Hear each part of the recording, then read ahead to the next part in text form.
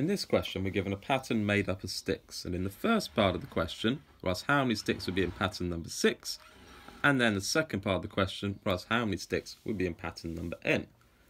Well, we're given the first three steps of our pattern. We need to find the sixth one, so it'd be sensible to count up how many sticks there are in each of these three patterns. So we've got one, two, three, four, five, six, seven sticks in our first one. One, two, three, four, five, six, seven, eight, nine, ten, eleven, twelve in our second one. And we've got one, two, three, four, five, six, seven, eight, nine, ten, eleven, twelve, thirteen, fourteen, fifteen, sixteen, seventeen in our third one. So we can see that as we go up one in our pattern number, we're adding three, adding five more sticks. So to go from 7 to 12, we add 5. To go from 12 to 17, we add 5.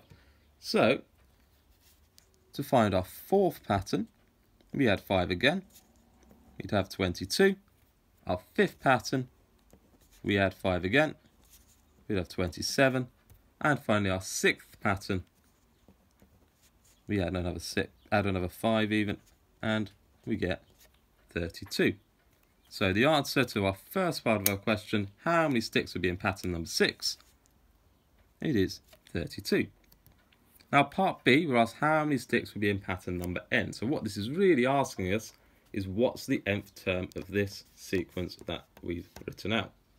Well, the nth term we can find by looking at how much we're going up by each time. So we're going up by 5 each time. So that means we're starting off with 5n. So 5n just means we're increasing by 5 every time we go up 1. And then to work out what we add on to the end of this, we need to think about what our first term is. So our first term is 7. If we've got 5 in front of the n, our first term is 7. To get from 5 to 7, we have to add 2. So our nth term is going to be 5n plus 2. And we can check this if we put, say, a 1 into here.